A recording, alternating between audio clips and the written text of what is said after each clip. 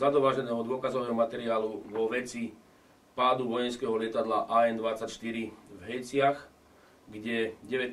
januára 2006 zahynulo 42 ľudí vracajúci sa z mierovej misie z Kosova, som 18.10.2016 požiadal generálneho prokurátora Slovenskej republiky o odtajnenie vyšetrovacieho spisu k tejto leteckej, z tejto leteckej dopravnej nehody. Na základe získaných informácií a porovnaním s uznesením, ktoré vydala vojenská obvodná prokuratúra Prešov pod spisovou značkou OPV 34 06 mám za to, že toto uznesenie vychádza z neúplných a čiastočne z nepravdivých informácií, pričom skutočná príčina tejto havárie bola zamlčaná. Zo spomínaného uznesenia, ako aj zo znaleckého posudku,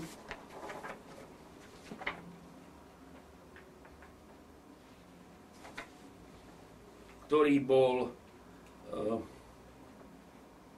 jedným z podkladov vydania tohoto uznesenia, vyplýva, že pravdepodobným vinníkom celej nehody bol kapitán Doro Kumančík a že príčinou leteckej nehody nebolo zlyhanie leteckej techniky. Hlavnou príčinou, tak ako to uviedol znalec, bolo, bola pravdepodobná strata situačnej a výškovej orientácie pri nedodržaní bezpečnej výšky letu v danom úseku priblíženia. Zo znaleckého posudku, ako aj z uznesenia, ale nie je jasné, aké parametre ukazoval zapisovač letových údajov FDR, tzv. čierna skrinka. Ja si pomôžem s týmto jedným dokumentom. keďže výsledky z neho boli utajené. Vo vyšetrovacom spise sa parametre zo zapisovača letových údajov FDR, tzv. čiernej skrinky, nenachádzajú, respektívne je v ňom len jeden list pod prílohou číslo 1 41 lomeno 2006. Znalecký posudok hovorí len o pravdepodobnosti vzniku leteckej nehody, pričom sa v ňom len jednou vetou v rozpore so skutočnosťou konštatuje. Citujem, podľa priebehu parametrov na zapisovači FDR bol let kľudný a bez technických problémov. Ja by som trošku bližšie ozrejmil tento list, respektíve tento jeden list, ktorý je z tzv. čiernej skrinky. Podľa znalcov, ktorí ho študovali a podľa uznesenia, ako aj znaleckého posudku, tento list zrejme nie je z čiernej skrinky lietadla AN-24, ktoré havarovalo e, v Hejciach.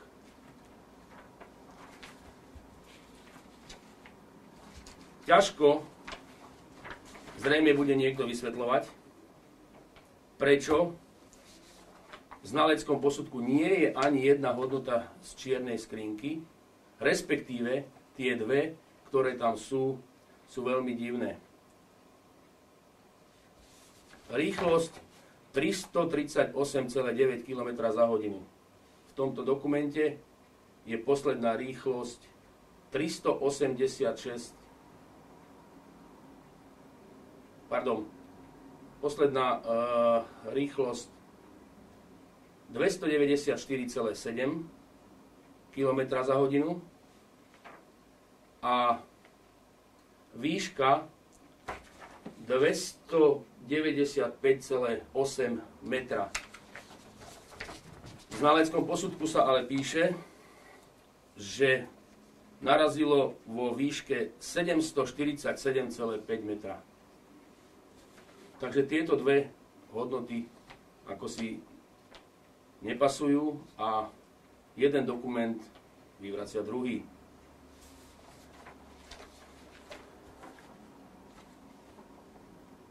Zaujímavo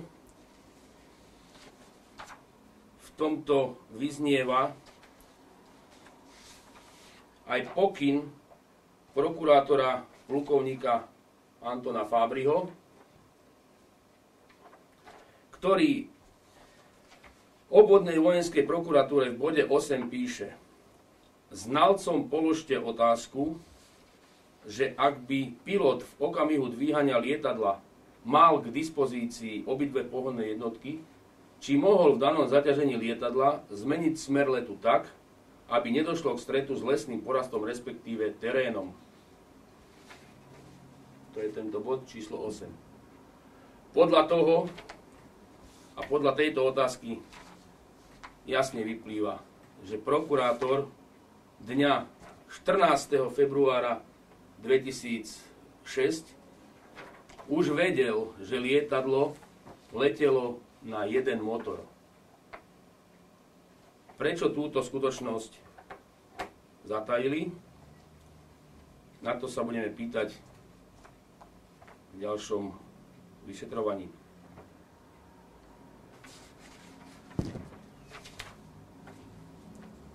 Informácií o havárii lietadla, ktorú predkladal minister obrany Slovenskej republiky Liška vláde Slovenskej republiky, republike, to je toto uznesenie, sa zamlčal plánovaný čas odletu lietadla z kuchyne dňa 19.1.2006, je uvedené, že let bol oneskorený z dôvodu vytvárania sa námrazy na vzletovej a pristávacej dráhe. Tu sú plánované časy. Z kuchyni 19.1.2006, kde nie je zapísaný plánovaný čas a ani prílet do Košíc. Skutočný čas bol 10.58.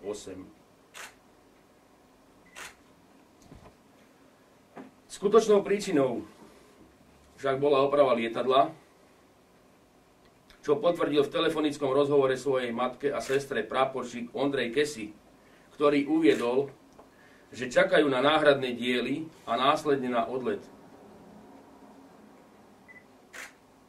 O tejto oprave je záznam v knihe o lietadle, ktorá je tiež zrejme súčasťou utajenia. V tejto správe ministra Líšku chýba ďalšia dôležitá vec. 13. januára v piatok, pár dní pred tragédiou, leteli s týmto lietadlom do Bagdadu a museli núdzovo pristáť v Ankare. O tomto takisto je záznam v letovej knihe. Z informácií o lietadle to je tento dokument, vyplýva,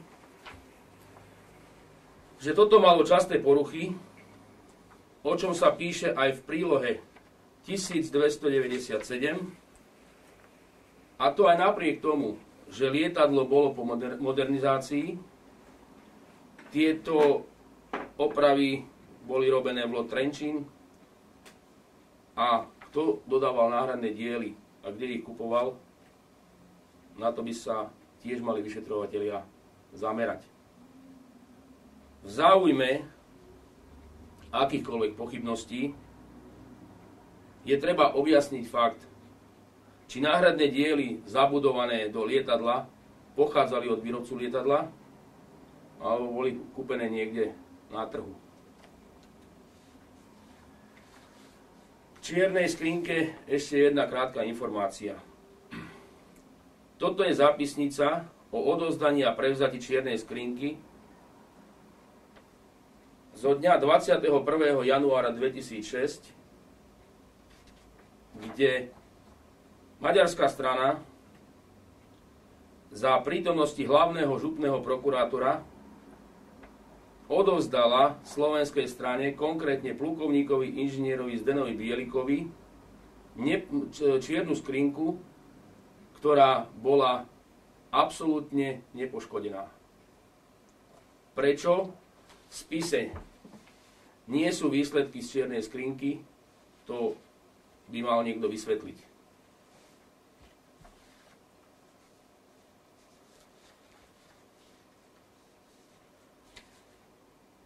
Znalecký posudok sa opiera o rádiový škomer, ktorý bol vypnutý.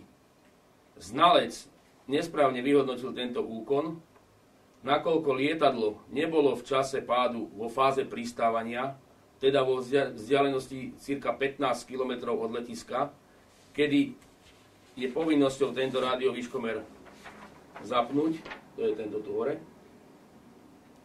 Ale keďže bol vypnutý, tak pánom vyšetrovateľom dobre padol tento výškomer k tomu, aby na základe jeho vypnutia povedali, že bol podrobený expertíze a poukazuje na e, nečinnosť veliteľa posádky s rádiovyškomerom. Z fotodokumentácie podľa expertov, ktorí s týmto lietadlom lietali, vyplýva, že problém mal pravý motor, a to hlavne podľa indikácií vibrátora motora, ako aj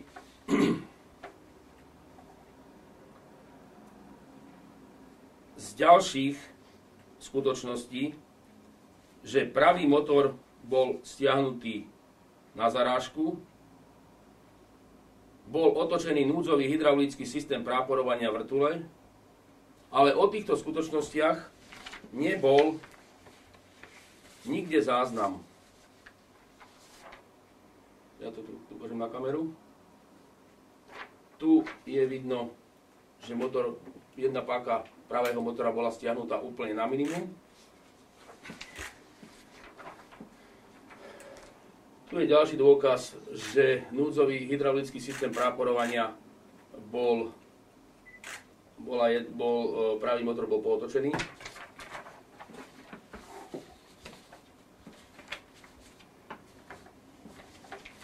Ďalšie, ďalšie pochybnosti vzbudzujú Vzbudzuje hlavne výškovka. To je táto časť na lietadle, ktorá je obhoretá. Je zaujímavé, že len z jednej strany.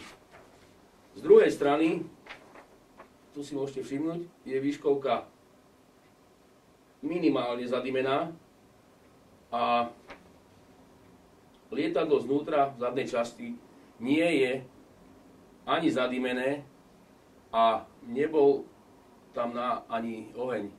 To znamená, že zaujímalo by ma, kto sa zaoberal tým, ako táto výškovka e, horela a prečo horela. Tu je fotografia, kde je vidno, že bol vypnutý autopilot. A tu je vrtula, ktorá bola nájdená ktorá podľa expertov zrejme bola v stave práporovania, to znamená, že aby kladla čo najnižší odpor.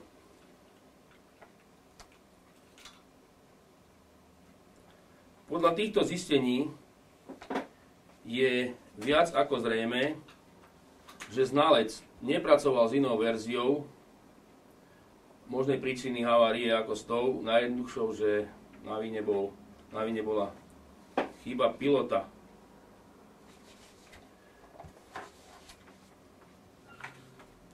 Zaujímavé pôsobí aj fakt, že vo vyšetrovacej komisii nebol nikto od výrobcu motora. Toto je zoznam členov vyšetrovacej komisie. Tento expert priamo od výrobcu motora mohol jasne určiť, či, alebo aspoň s najväčšou pravdou určiť, či e, mohol, mohla byť príčinou havárie technická porucha, alebo túto skutočnosť vyvrátiť. Prečo nebol prizvaný? Na to sa tiež treba opýtať kompetentných. Takisto ako sa treba opýtať kompetentných, prečo nikto nebol prizvaný z ministerstva dopravy. Boli ale prizvaní páni z vojenského obranného spravodajstva, nakoľko na palube tohto lietadla sa nachádzalo 7 členov vojenského obranného spravodajstva.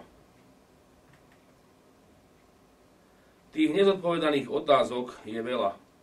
Napríklad, prečo sa udiala výmena posádky tesne pred letom? Prečo prišli vyšetrovať nehodu do kuchyne až dva týždne po nehode? Prečo nebol v lietadle zabudovaný systém, ktorý by poukazoval alebo upozornil posádku pred prípadnou zrážkou zo zemou? Veď sa predsa robila modernizácia. Prečo sa na vyšetrovaní nepodielala, nepodielala maďarská strana? Stalo sa to predsa na maďarskom území a toto lietadlo letelo po civilnej linke. Prečo nebrali do úvahy výpovede svetkov z Maďarska, ktorí videli letie toto lietadlo nízko nad zemou a videli z neho sa dymiť? Prečo znalecký posudok robil znalec, ktorý nikdy na takomto lietadle nelietal a ktorý si vo svojom znaleckom posudku zjavne pletie civilné predpisy s vojenskými. Prečo neboli prizvaní do, do vyšetrovania experti, ktorí lietali na tomto lietadle? Či už piloti alebo palubní technici. Samotnou časťou spisu sú výpovede nadporúčíka Martina Farkaša, ktorý jediný túto haváriu prežil. Nemenej zaujímavé sú jeho odpovede. Ja ich budem citovať, aby zase nedošlo k niečomu, že som nesprávne povedal. Let, toto je výsluch zo dňa 23.1.2006. Let prebiehal v pohode, všetci sme mali dobrú náladu, tešili sme sa na návrat. Ja som si po štarte asi hodinu pospal, neskôr som sa zobudil, zapájal som sa do diskusie, rozhovorov s ostatnými. Navzájom sme sa doberali a ako celá jednotka sme boli dobrý kolektív. Neskôr si už na nič nepamätám, som sa, prebral som sa na zimu, dookola bola tma.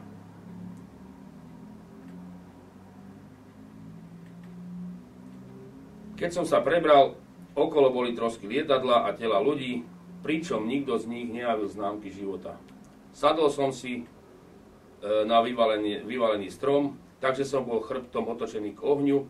Vtedy som si spomenul, že mám mobilný telefón, tento som zapol, nevedel som, kde sa nachádzame a keď sa telefón aktivoval, zavolal som na číslo 158, kde sa mi nikto neohlásil. A pretože som mal signál, predpokladal som, že sme na území Slovenska a zavolal som manželke.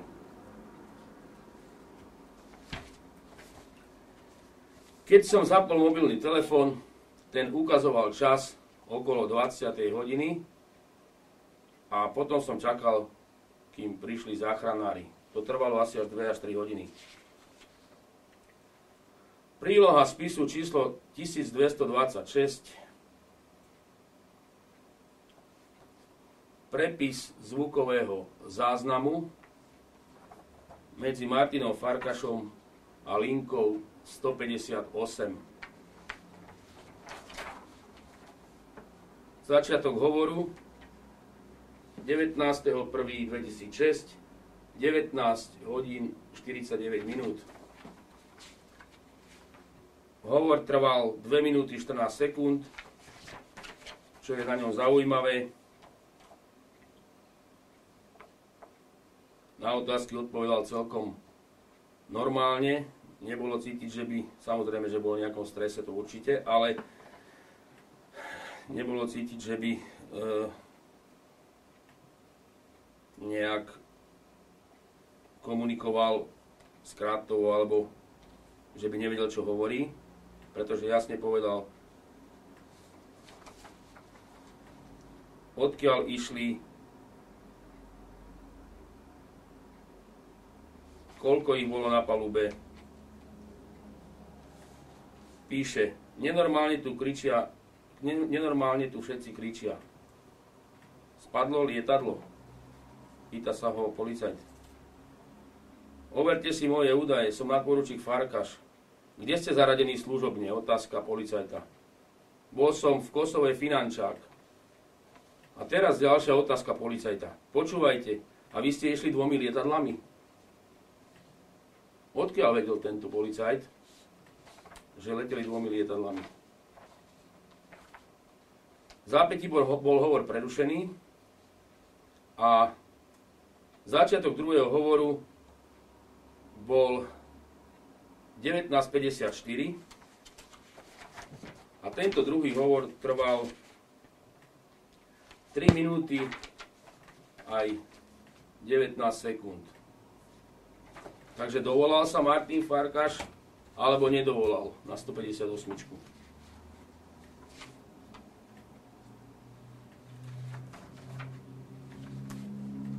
Nemenej zaujímavo pôsobí Otázka vyšetrovateľa. Aký ste mali celkový dojem z letu? A tu je odpoveď svetka.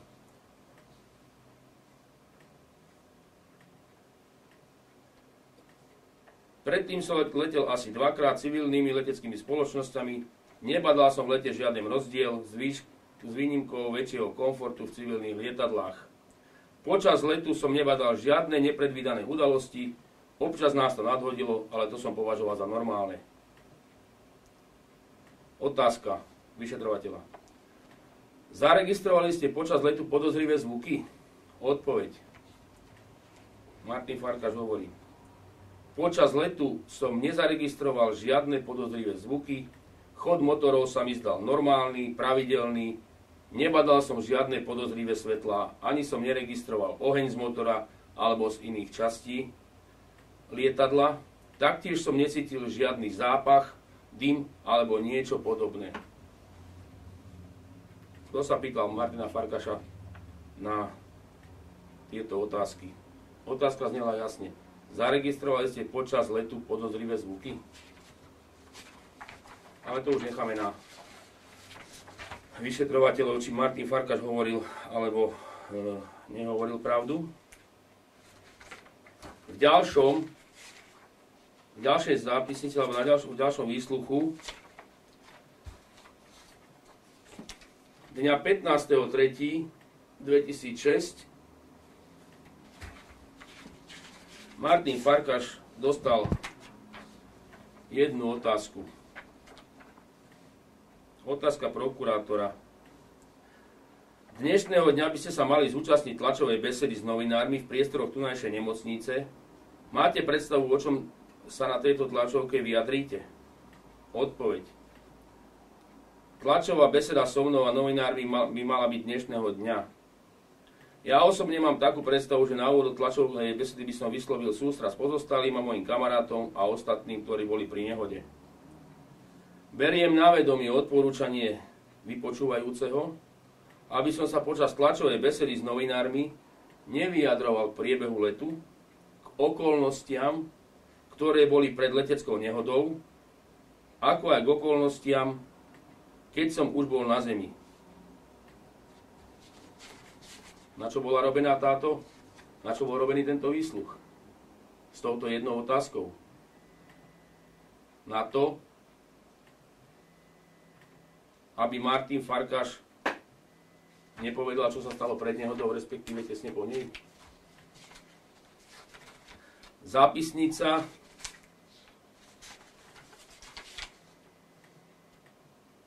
z ďalšieho výsluchu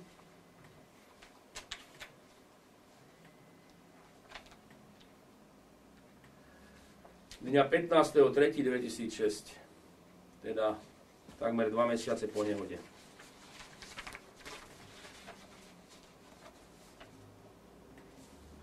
Chcem, trvám na svojich výpovediach zo dňa 23.1. a 25.1.2006 a tieto výpovede by som chcel doplniť o skutočnosti, ktoré som si dodatočne spomenul.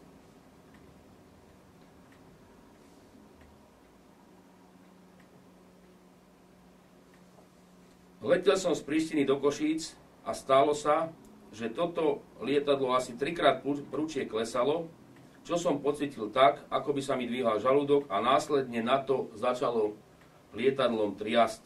Zdalo sa mi, ako by vozidlo alebo lietadlo na zemi nabehlo na väčší hrbol. V dôsledku toho som sa chytil sedadla pred sebou, pričom som bol celý čas pripútaný.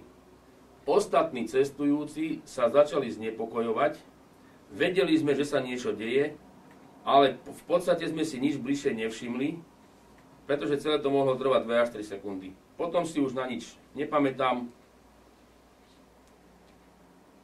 Prebral som sa na zimu, keď som ležal v snehu.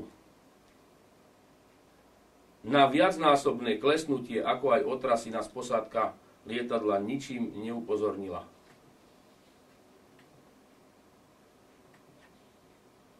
Ďalšia otázka vypočúvajúceho. Boli ste zo strany ozbrojených síl ako poškodení nejakým spôsobom odškodení, prípadne odmenení? Toto sa pýta dva mesiace po nehode vyšetrovateľ Svetka. Vy si dajte otázku, či, je, či táto jeho otázka bola na mieste. Odpoveď. Doposiaľ som nebol za vzniknutý úraz nejako odškodnený a má to byť riešené na, na útvare a tak ďalej. Neprináž, neprináleží mi vyhodnocovať tieto tri výpovede jediného preživšieho z tejto tragédie. Sú to jeho výpovede, je to jeho svedomie, čo do nich dal. Ja si ale neodpustím jednu poznámku. U mňa je Martin Farkaš klamár.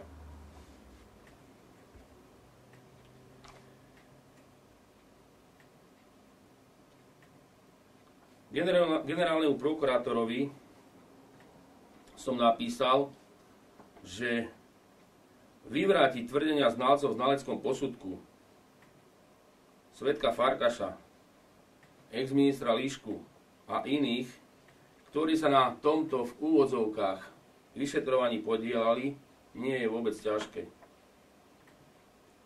Títo páni si nedali veľa námahy, aby po sebe poupratovali. Zrejme nerátali, že niekto niekedy môže tento prípad otvoriť a nebyť úplné náhody s exposlancom Národnej rady Slovenskej republiky Jánošom, na prípade ktorého som tiež robil a zastupoval som jeho manželku, tak ani tieto dokumenty neexistujú.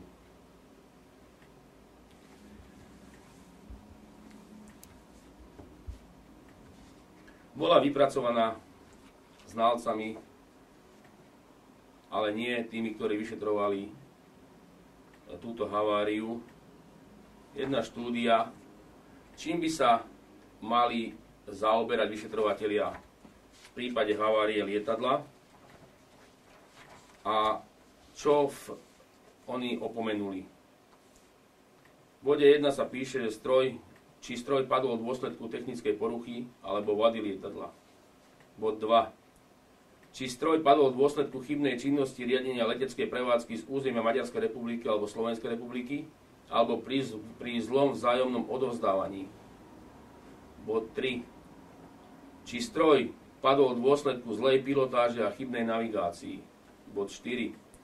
či stroj padol v dôsledku sabotáže zo strany odporcov od operácií KFOR, či už na inštalovaní výbušného systému alebo zo z blízkej vyvýšeniny. Bod 5. Či k deštrukčnej explózii došlo na palube v dôsledku nedovolenej prepravy alebo neodbornej manipulácii s výbušninou, muníciou, trhavinou alebo kombináciou týchto činností. Bod 6. Či príčinou mohol byť zlý zdravotný stav nosných členov posádky, bode 7. Či príčinou bol zásah nepovolanej osoby do pilotáže z posádky alebo z cestujúcich. Bod 8. Či príčinou bol pokus o únos lietadla. Títo experti píšu, že tým, k tomuto by bolo potrebné zorganiz- zorganizovať za, e, za každú verziu jednu skupinu, ktorá by na tomto pracovala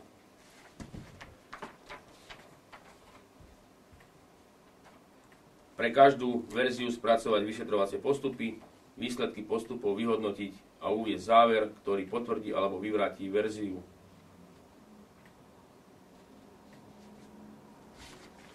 Táto správa má 6 strán a podľa nich len takýto postup zabezpečí objektivitu vo vyšetrovaní.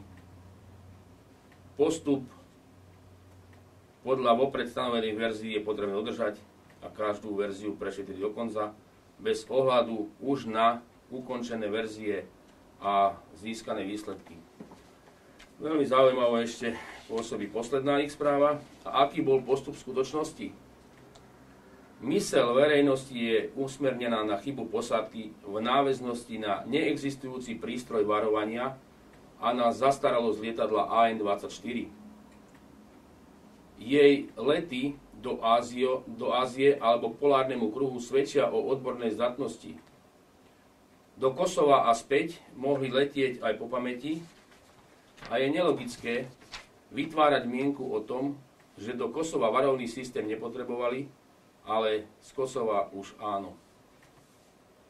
Logika kriminalistiky sa totiž opiera vždy o realitu stôp a racionalitu skúmania príčiny, javu a následku. Dámy a páni, toto je len časť zo spisu, ktorý bol odozdaný generálnemu prokurátorovi. Medzi tým vyšli najavo ďalšie skutočnosti, ktoré sme spracovali, respektíve spracovávame a takisto ich podáme ako aj tieto generálnemu prokurátorovi a podľa informácií z včerajška generálny prokurátor e, obnoví vyšetrovanie. Toľko k dôkazom, ktoré sme a k dokumentom, ktoré sme po, poskytli generálnej prokuratúre. Ďakujem.